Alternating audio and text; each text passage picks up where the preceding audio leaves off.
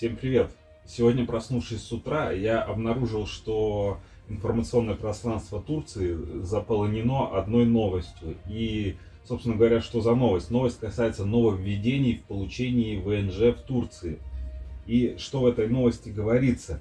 Говорится в ней следующее, то что с 26 декабря 2022 года изменены первичные условия подачи заявления на получение вида на жительство граждан Российской Федерации – и какие же там нововведения? Первое нововведение – это если граждане Российской Федерации находятся на пенсии, они должны будут предоставить документ с апостилем, подтверждающий, что они являются пенсионерами и размер их пенсии. Второе нововведение касается граждан, работающих удаленно.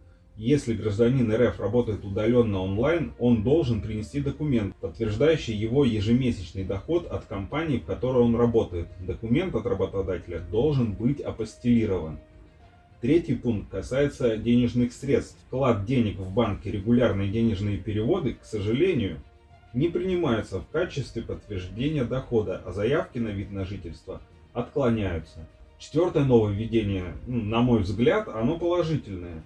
Супруги и дети в возрасте до 25 лет из тех, кто ранее получил вид на жительство, будут считаться воссоединением семьи и смогут получить вид на жительство.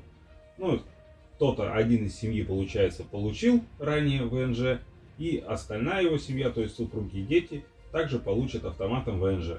И пятое нововведение, оно из числа бюрократических, это то, что эти правила не применяются к тем, у кого дата подачи заявки до 26 декабря. Вышеуказанные правила будут применяться ко всем гражданам Российской Федерации, которые подали заявку после 26 декабря. И здесь стоит обратить внимание, что все эти правила, они касаются людей, которые первично подаются на ВНЖ в Турции.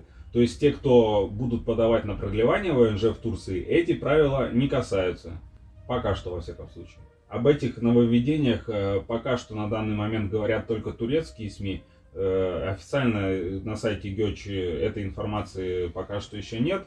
Но все равно на это стоит обратить внимание и принять в расчет, если ты собираешься ехать в Турцию и получать здесь первичное ВНЖ. Но я понимаю, что эти новости не самые приятные, бюрократия расширяется, расширяет свое влияние. И, возможно, эти нововведения в дальнейшем могут коснуться и граждан других стран, которые также будут получать первичное ВНЖ в Турции. Также есть информация, что эти нововведения уже практикуются в Фетхе. С тобой был канал Turkey Space. Подписывайся на наш канал, чтобы не пропустить вот такие вот экстренные и на самом деле важные новости. Свои вопросы можешь написать в комментариях или прислать нам на почту. Всем пока.